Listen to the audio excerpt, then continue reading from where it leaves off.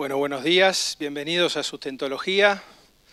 La verdad que para mí es un placer poder compartir este panel con el nivel que tiene. Antes de meternos de lleno en el tema, quiero decirles que hoy ganó Independiente y acá somos mayoría de hinchas de Independiente. Tres hinchas declarados y uno que el papá es hincha Independiente y él no le interesa tanto, así que lo vamos a hacer hincha Independiente también. Dejando eso de lado, nos vamos... Dejando eso de lado, nos vamos a meter en este tema que, verdaderamente tiene tanto futuro. ¿no? Para nosotros desde APRESID el trigo es un cultivo eh, que tiene una trascendencia y una importancia este, muy profunda y bueno, no, dudamos en, sentarnos a conversar de qué forma poder darle este, mayor protagonismo como estamos hoy y con el futuro que ya lo tenemos golpeándonos la puerta y en muchos casos ya nos pasó por encima. Este, así que bueno, este, los que saben están a mi derecha, así que vamos a empezar a, tratar de desenmarañar esta madeja y hacer todos el aporte que queremos para que la Argentina se posicione en un mercado que sabemos que, que lo tenemos allí y con mucha en definitiva, eh, tenemos que hacernos líderes, estamos en ese camino, sabemos que tenemos muchísimo potencial. En un montón de ámbitos no solo se trata de exportar más cantidad de semillas, sino más calidad, me parece que son los temas que vamos a tratar ahora, y más valor. ¿no? Así que bueno, los dejo con, con Ricardo para que nos ilustre. Gracias.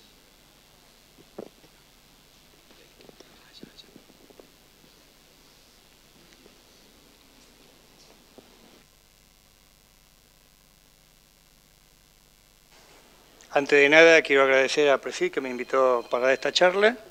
Y bien, vamos al tema. Eh, la temática de la brecha de rendimiento se ha estudiado en trigo y en otros cultivos hasta el cansancio.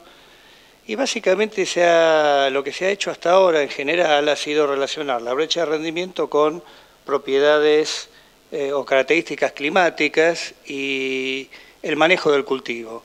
Y hay muy poco o casi nada de trabajo orientado a relacionarla con propiedades del suelo, que es lo que hicimos nosotros y sobre lo que se va a centrar la exposición.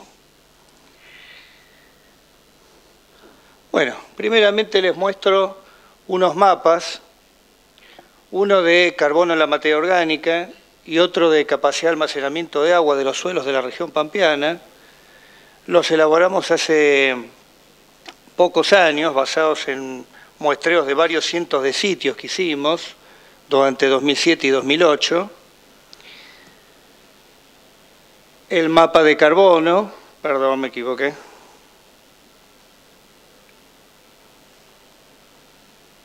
Ahí volví.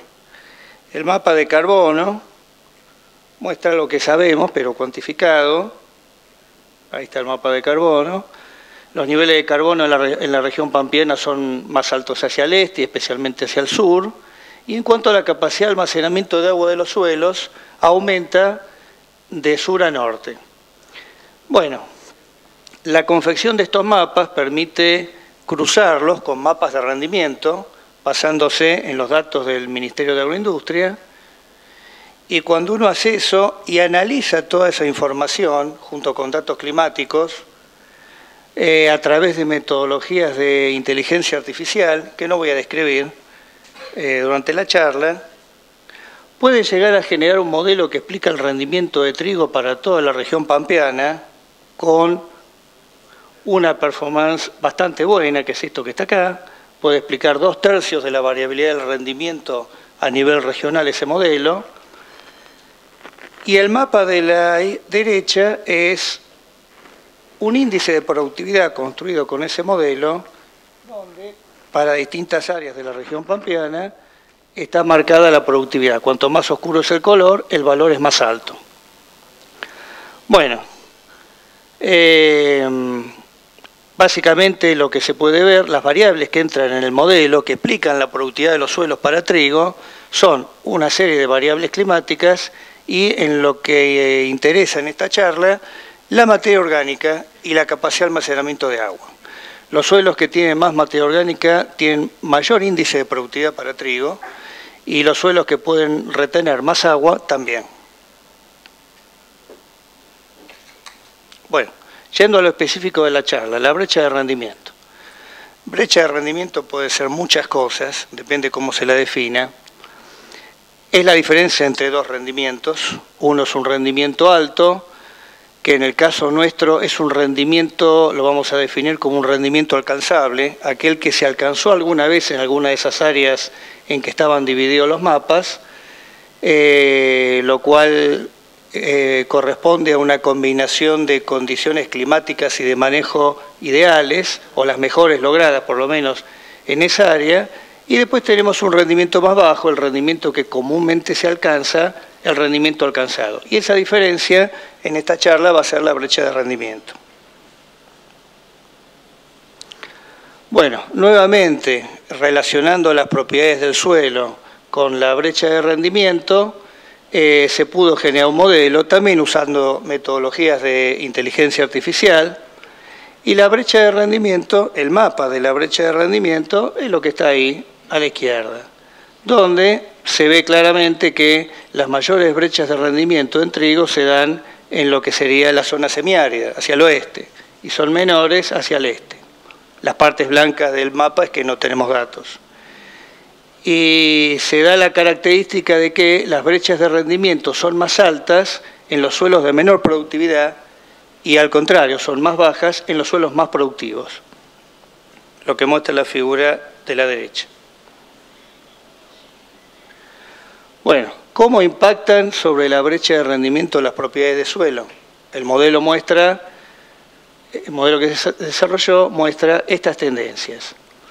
Eh, a medir en suelos de muy baja capacidad de almacenamiento de agua, eh, perdón, en suelos de muy bajo nivel de carbono orgánico, para un determinado nivel de capacidad de almacenamiento de agua, lo que está a la izquierda, la brecha es mucho mayor y baja esa brecha de rendimiento en suelos con niveles de materia orgánica más altos y de la misma manera, aunque con menor peso, los suelos que tienen poca capacidad de almacenamiento de agua útil tienen brechas de rendimiento más altas y esta es menor en los suelos que pueden almacenar más agua.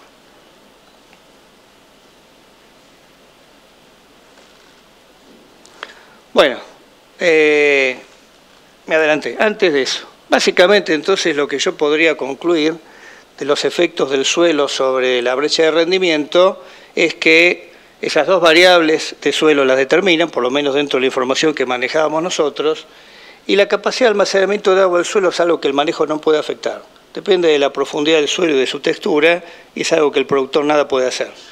En cambio, el nivel de materia orgánica sí. Hay una serie de prácticas de manejo que permiten incrementarla, y bueno, si queremos mejorar la productividad de los suelos, por lo menos para trigo, pero es muy probable que en otros cultivos, por lo menos en maíz, es esperable sea parecido, aunque obviamente hay que probarlo, eh, prácticas que incrementen los niveles de materia orgánica favorecerían incrementar la productividad de los suelos y disminuir las brechas.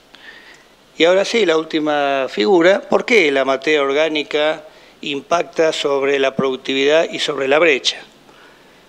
Si hubiera varias personas acá que trabajan en suelos, seguro nos ponemos a discutir el tema y no nos pondríamos de acuerdo, pero hay varias visiones. Una de ellas es que la materia orgánica impacta sobre propiedades físicas del suelo, como la capacidad de almacenamiento de agua eh, o la densidad aparente, y la otra es la, la visión desde el punto de vista de los nutrientes. La materia orgánica es una fuente de nutrientes.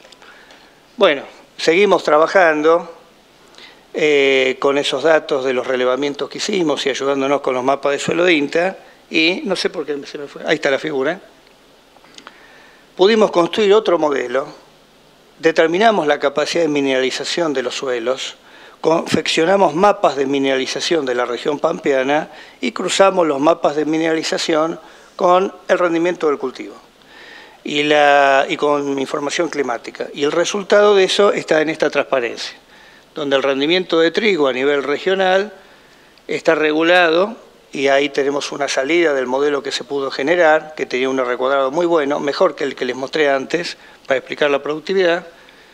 Eh, el rendimiento de trigo está regulado en este caso por la lluvia durante el ciclo, la precipitación y la capacidad de mineralizar nitrógeno de los suelos.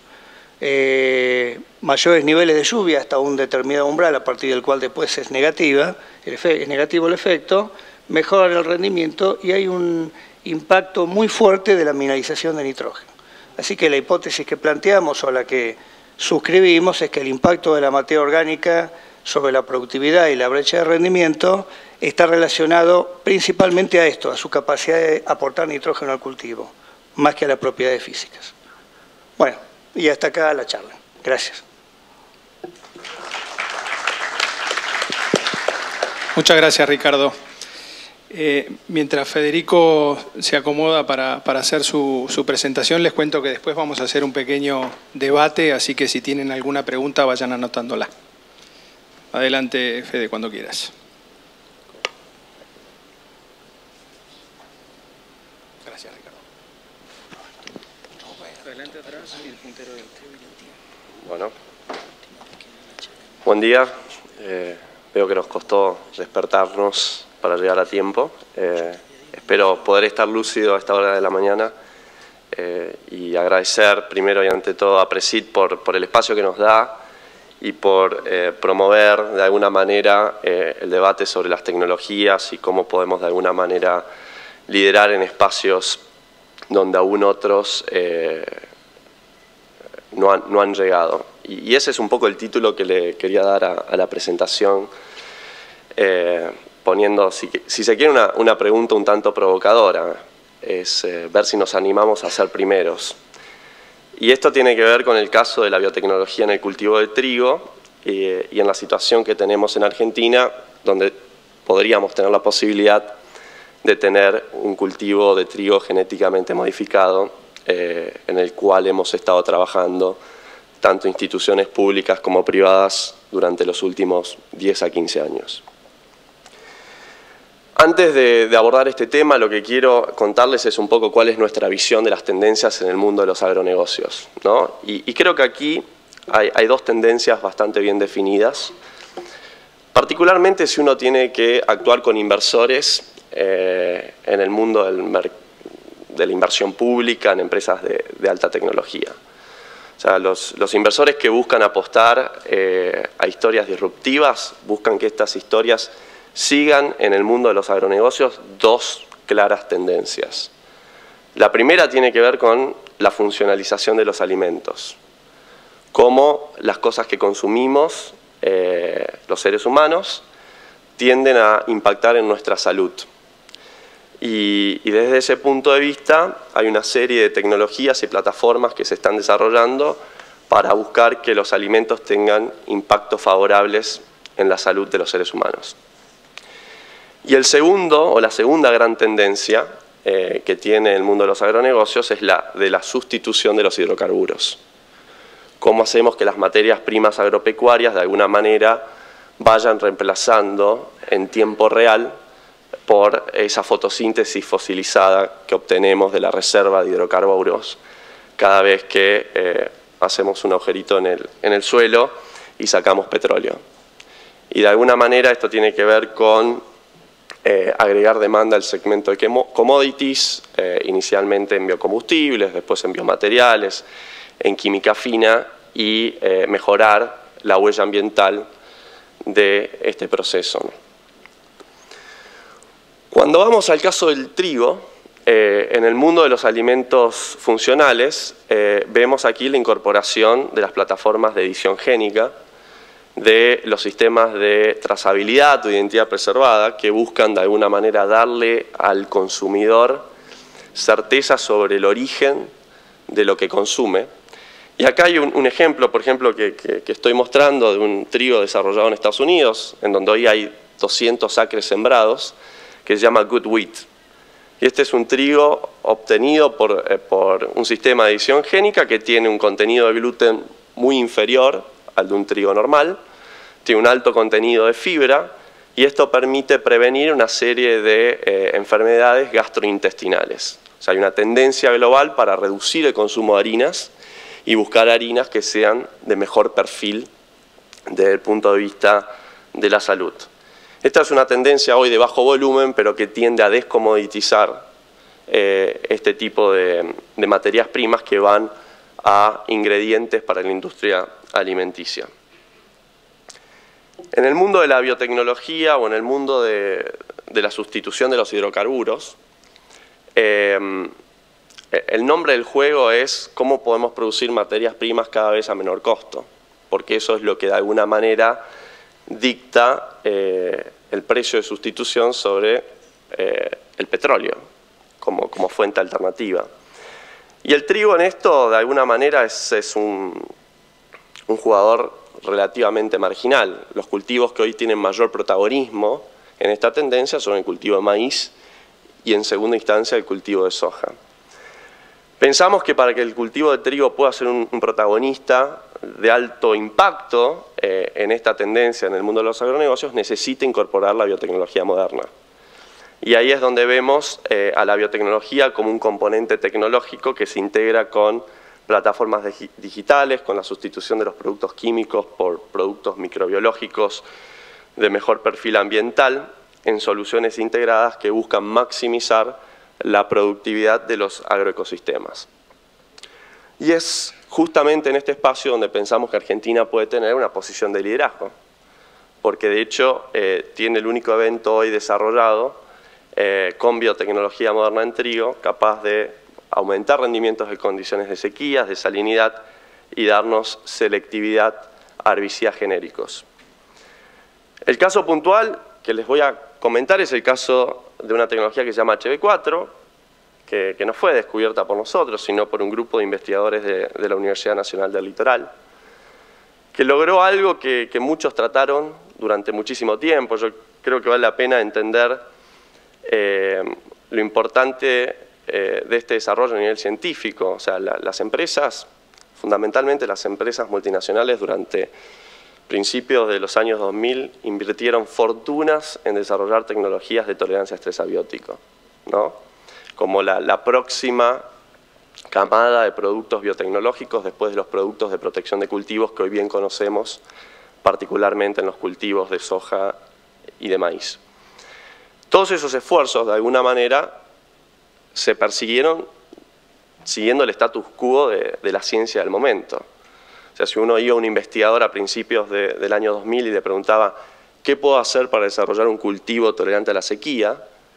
La respuesta casi unánime hubiese sido uno tiene que ir a los ecosistemas donde la sequía es casi crónica, identificar las especies que evolucionaron en esos ambientes, identificar los mecanismos moleculares que tienen esas especies para poder sobrellevar la falta de agua y transferirlos a los cultivos de interés. Y eso es exactamente lo que se hizo. Y lo que se obtuvieron fueron plantas que podían sobrellevar la falta de agua, pero que rendían menos. La forma en la que el cactus sobrevive en el desierto es no consumiendo agua, es no transpirando. Los cactus, el cactus no tiene hojas, tiene espinas. Y esto le permite sobrevivir, pero si no consume agua no genera fotosíntesis. Y si no genera fotosíntesis, no genera biomasa, no genera rendimiento. Lo que descubrió este grupo de la Universidad Nacional del Litoral es que lo que había que hacer era algo totalmente contraintuitivo. Era engañar a las plantas para que piensen que no les falta agua y de alguna manera sigan transpirando y desarrollando fotosíntesis cuando la respuesta natural hubiese sido empezar a cenecer. La realidad es que las plantas tienen una reserva de la misma manera que cuando manejamos un auto, cuando se prende la luz que nos vamos a quedar sin combustible, no significa que tenemos que parar enseguida, sino que tenemos unos kilómetros que aún podemos hacer para llegar eh, a, cargar combustible. Lo que hace las plantas que tienen el sistema HD4 es bypassar esa luz, poder ir unos kilómetros más, eventualmente ganar dos días más de fotosíntesis, y eso es lo que nos permite rendimientos de un 10, un 20% eh, más en condiciones de, estrés ambiental. Nosotros lo que hemos hecho es analizado el aumento de productividad potencial de esta tecnología en cada distrito donde se siembra trigo en la República Argentina, tomando el promedio histórico de los últimos 10 años, datos de rendimiento, y evaluado cuántos kilos adicionales podríamos obtener en cada uno de estos distritos o departamentos y llegamos a un acumulado anual que nos podría dar, si esto estuviese en el 100% de las hectáreas, obviamente, unos 3 millones de toneladas adicionales con la misma inversión que hacemos cada año en producir trigo en la República Argentina. ¿Por qué no podemos tener esto hoy? ¿Por qué no lo podemos empezar a, utilizar? Eh, bueno, como ustedes saben, hay un sistema regulatorio en nuestro país que tiene tres instancias que evalúan el riesgo de liberación de nuevos eventos biotecnológicos. Hay una instancia que lleva adelante el SENASA que mide la inocuidad para la alimentación humana y animal, en la que este producto ha sido analizado y, aceptado como inocuo. Hay una instancia que lleva adelante la CONAVIA, eh, que es el organismo que mira la bioseguridad, el impacto que pueden tener estas tecnologías en el medio ambiente. Y ahí también hemos tenido un dictamen que indica que esta tecnología no representa eh, un perjuicio para el medio ambiente. Y finalmente eh, hay una evaluación que, hace nuestro país que mide el impacto que puede tener este tipo de liberación en el comercio exterior. Como si nosotros empezamos a producir algo que nuestros clientes pueden no aceptar, se puede generar un problema a nivel de comercialización. Y aquí es donde se presenta el, principal escollo, porque obviamente hay destinos donde hoy exportamos trigo argentino que no tienen, de alguna manera, aprobados otros eventos de trigo transgénicos.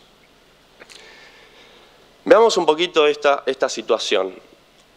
El mundo produce 700 millones de toneladas de trigo. Poco más, un poco menos, seguramente Jesús le va a dar números más, más precisos que los míos.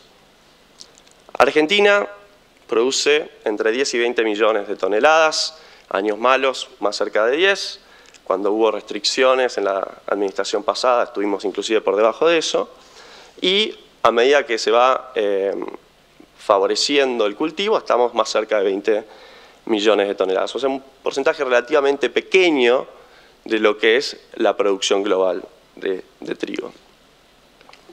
¿Qué hacemos con este trigo que producimos en Argentina? Hay unas 7 millones de toneladas que industrializamos localmente. Hay unas 5 millones de toneladas que van como grano generalmente a Brasil, puede ser un poquito menos, un poquito más. Y el resto, dependiendo de la disponibilidad, eh, va a otros destinos del mundo. Eh, y eso depende un poco de cómo venga la cosecha en otros lugares, del volumen que tengamos localmente, de la calidad y del precio. Entonces aquí es donde nosotros nos proponemos, en el espíritu de generar un debate, proponemos tres escenarios distintos. Si quisiéramos tener esta tecnología disponible ya, el único escenario viable es que esto esté solamente aprobado para consumo interno, porque es el único lugar donde tendríamos las aprobaciones necesarias para poder eh, llevar esto sin, sin ningún tipo de perjuicio. Esto implica que un 50-70% de la producción del trigo argentino tendría algún riesgo comercial y que deberíamos tener un sistema de segregación que quizás es poco deseable. Hay un segundo escenario que podríamos tomar de lo que es la práctica en otros cultivos, que son las condiciones o las aprobaciones condicionadas, donde el regulador aprueba un evento, pero condiciona su liberación comercial a que esa tecnología sea aprobada para consumo en algún mercado de destino importante. Acá lo que nosotros proponemos es una liberación condicionada a la aprobación para consumo en Brasil. Con esto nosotros podríamos no solo tener el mercado de consumo interno, sino agregar unas 500.000 toneladas que se exportan en forma de, harina a Brasil, las casi 5 millones de toneladas que potencialmente podemos exportar en forma de grano, y pensamos que hay unas 2 millones de toneladas adicionales que hoy se exportan a mercados no regulados, que no tienen un marco regulatorio establecido, que no, que no deberían estar en riesgo si mantenemos el status quo del sistema regulatorio en estos, en estos mercados. Esto dejaría un riesgo comercial de potencialmente un 10 a un 20% de la producción total en un buen año e implicaría algún tipo de testeo en puerto que tendríamos que ver si, si podemos realizar. Y ese sería un escenario en donde esta tecnología podría estar disponible no quizás el año próximo, sino un año más, una vez que Brasil haga la liberación eh, del evento. Y hay un tercer escenario, quizás el más conservador, que dice, bueno, ¿por qué no condicionamos la liberación comercial a que esto esté aprobado en todos los mercados regulados, en donde hoy Argentina exporta trigo en forma significativa? No solo Brasil, sino los países del sudeste asiático que sí tienen marcos regulatorios establecidos, como es el caso de Indonesia, Vietnam, Corea del Sur, eh, Tailandia quizás. Esto creo que, de alguna manera minimizaría el riesgo comercial de poder lanzar este tipo de, tecnologías. Quizás requiera algún tipo de testeo en puerto y consideramos que la producción potencial que podría tener algún tipo de, conflicto de exportación debería ser menor al 10% de la producción total, inclusive en un escenario de máxima de 20 millones de toneladas. Estas son las propuestas que como empresa queremos acercar para poder tratar de destrabar esto y ver si podemos ser líderes en algo en donde tenemos una, oportunidad única, ¿no? Entendiendo que a veces ser líderes implica hacer cosas que otros aún no han, no han hecho. Y creo que ese es un poco el desafío que nosotros venimos respetuosamente a proponer. Sabemos que aquí hay gente sumamente experta en este tema, que tiene sus preocupaciones y queremos hacer de esto, si se quiere, un debate público para que nos ayuden entre todos a llegar a, un consenso y a una posición en este tema. Les agradezco el tema, Pedro, te agradezco eh, tu interés personal en esto, le agradezco a Presit el apoyo que nos ha dado en todos los ámbitos en donde hemos discutido este tema y con esto termino mi, mi presentación. Muchas gracias. Hola, gracias Federico. Jesús, adelante.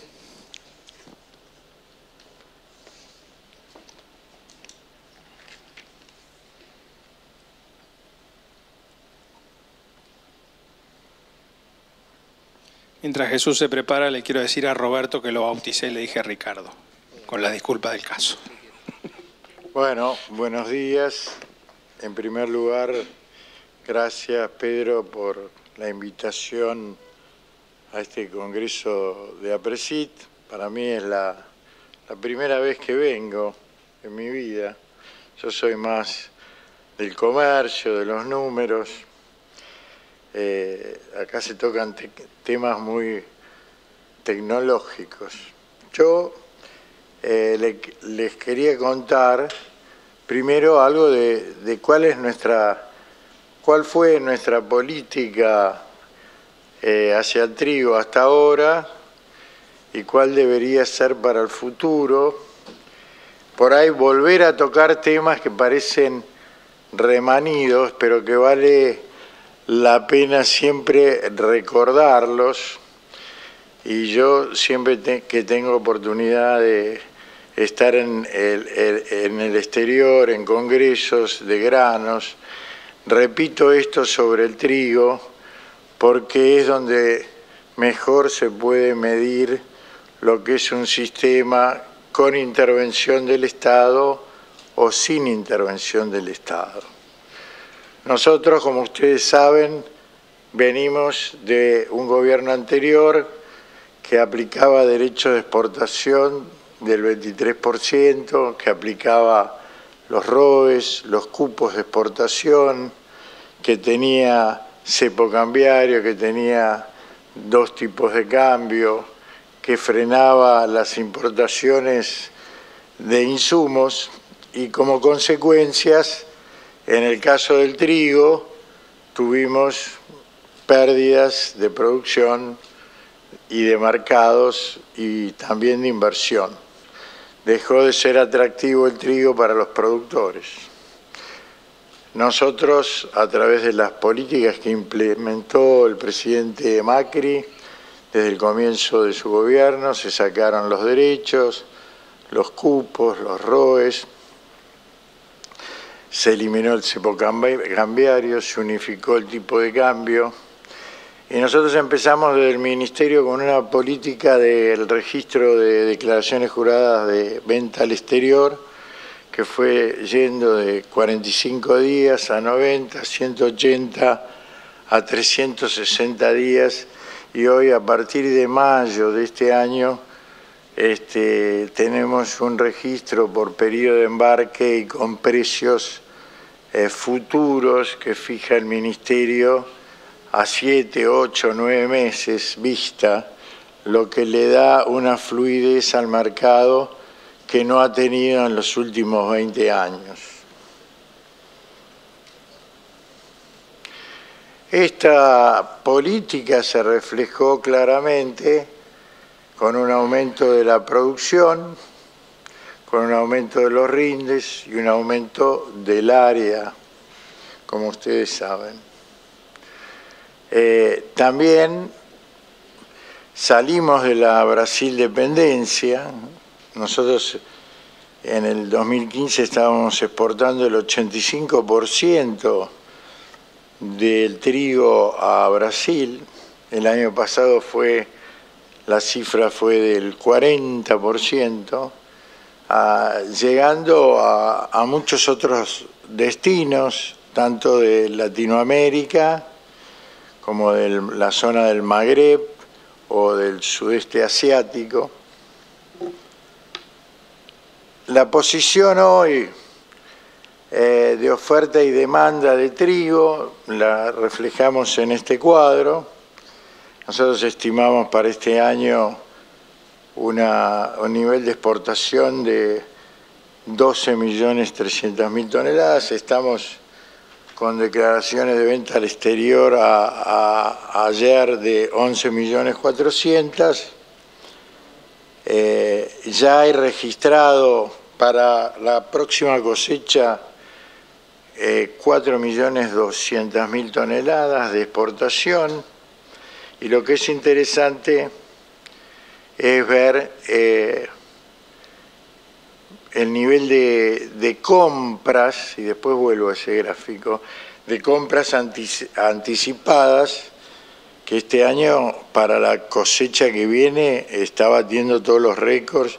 Hay ya compradas 4 millones de toneladas por el sector exportador y 110 mil toneladas por la industria.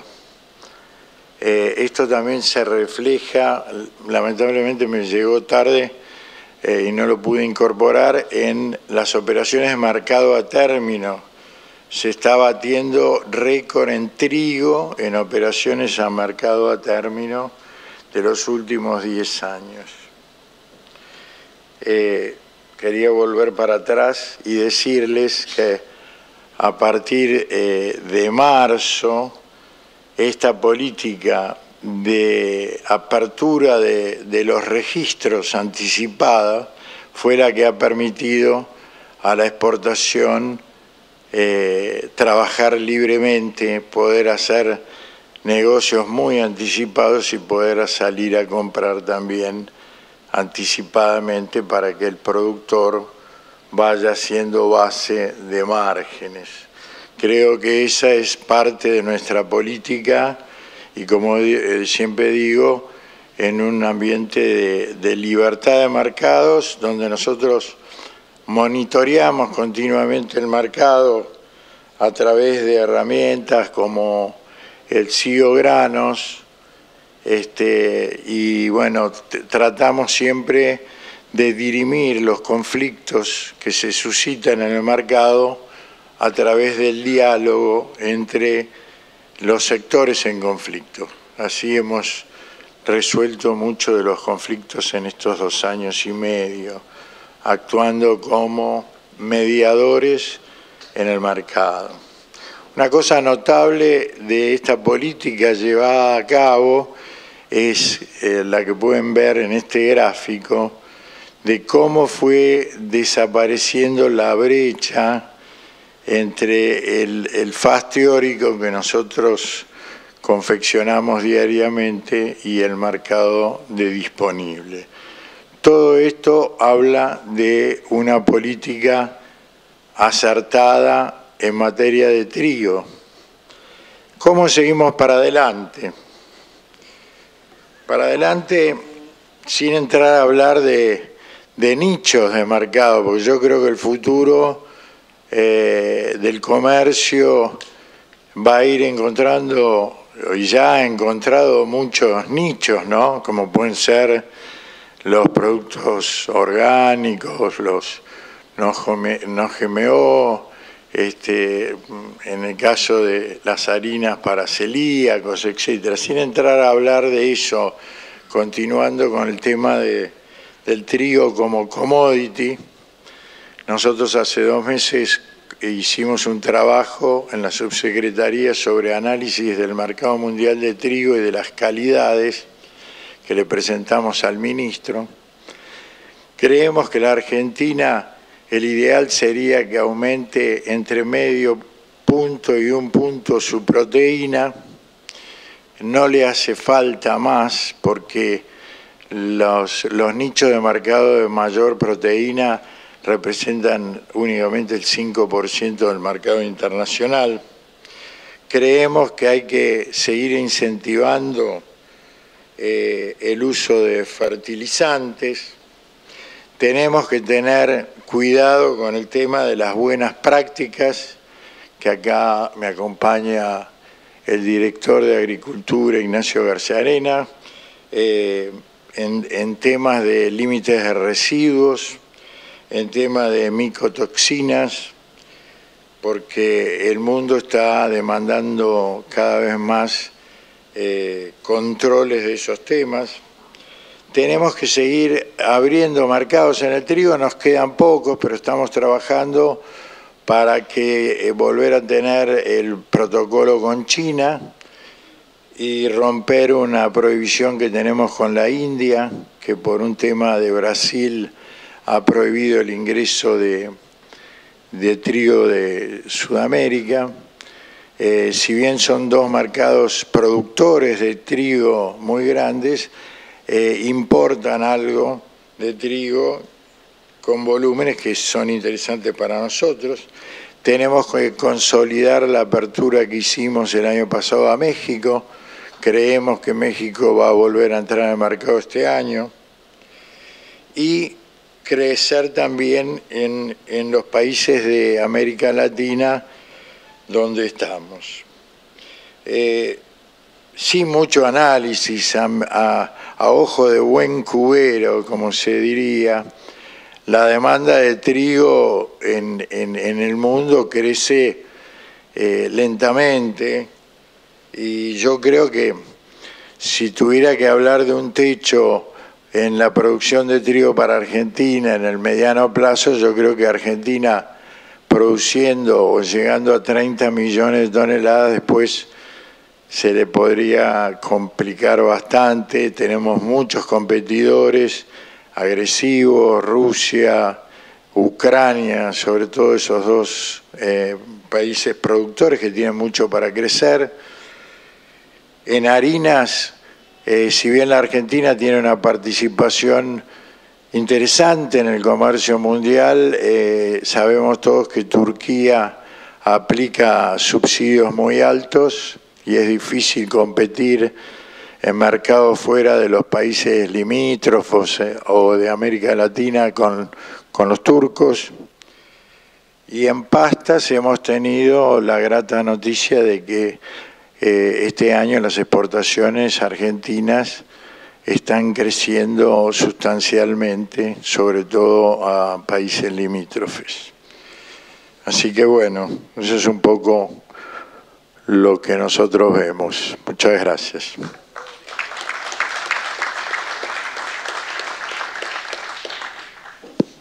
Muchas gracias Jesús. Bueno, Primero poniendo foco en la agronomía, lo que nos dice Roberto, ¿no? y la necesidad de, siempre tener claro este, que los planteos necesitamos cada vez más agronomía y el impacto de la, materia orgánica y, esto, y el impacto que tiene en el cultivo. Después lo escuchamos a Federico con un planteo concreto y después Jesús nos contó un poco cómo se está viendo el mercado y qué es lo que se está haciendo en el ministerio. Evidentemente, yo tomo palabras de Jesús, el diálogo es una cuestión clave. Aquí hubo una, cuestión concreta, que es un pedido. Nosotros como institución, a través de nuestra misión, que es impulsar sistemas sustentables de producción de alimentos, fibras y energía a través de la ciencia, la innovación y la gestión del conocimiento en red, tenemos la obligación de tratar de articular estas cuestiones y agradecemos que podamos tener este tipo de paneles, ¿no? porque convengamos que hace poco tiempo era medio impensado. Esto habla de una madurez que tenemos como nación que tenemos que valorar mucho y que tenemos que aprovechar porque vamos en el mismo barco. Entonces, a través del diálogo tenemos que encontrar las formas de buscar soluciones.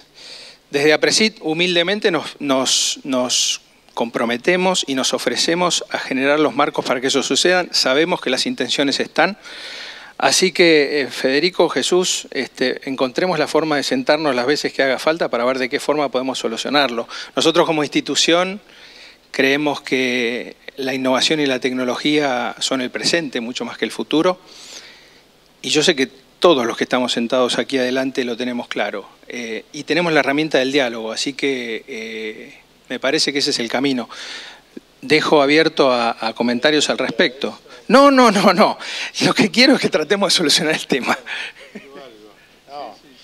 Eh, más allá de mi presentación, quiero decir algo de lo que dijo Federico. nosotros consultamos al mercado interno y a Brasil fundamentalmente, vos sabés que eso te lo expusimos, eh, obtuvimos respuestas negativas por ahora, este, tanto de la Federación de la Industria Molinera como de la Cámara de Exportadores y también de la gente de Avitrio en Brasil. Eh, el miedo paraliza, es verdad, el miedo paraliza y no deja actuar, pero también como responsables de las políticas tenemos que ser prudentes. Entonces, ¿cuál es el equilibrio entre el miedo y, la prudencia? Obviamente, Argentina tiene know-how, ustedes tienen know-how, nosotros queremos, apoyamos la biotecnología, vos sabés que hemos ido aprobando este año varios eventos. Y bueno, ahí está el tema de, cómo jugar entre prudencia y, ir de punta. Eh, tu planteo es interesante, conocemos cuáles son los países que tienen marco regulatorio y cuáles no.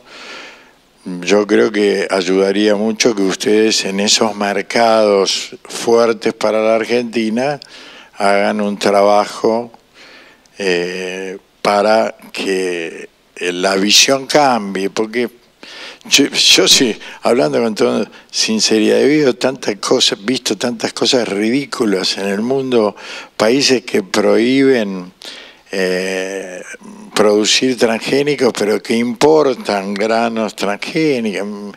O sea, hay un mundo dividido en esto que tiene mucho que ver con con eh, falsedades también científicas. Pero bueno, el tema está ahí, ¿no? Eh, ser prudente y tratar de ser de punta.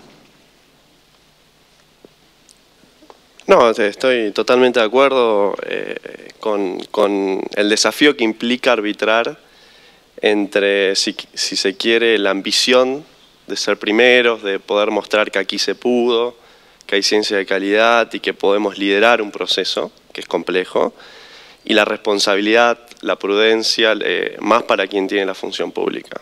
Por eso planteábamos los distintos escenarios que creo que de alguna manera buscan puntos intermedios.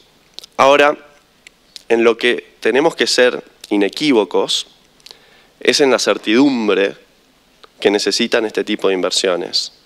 Entonces, acá, más allá de cuál es el punto medio, lo que nosotros necesitamos saber es exactamente qué se van, qué, cuál sería el requisito para tener la aprobación final y que esto no sea, como dicen los americanos, un moving target, ¿no?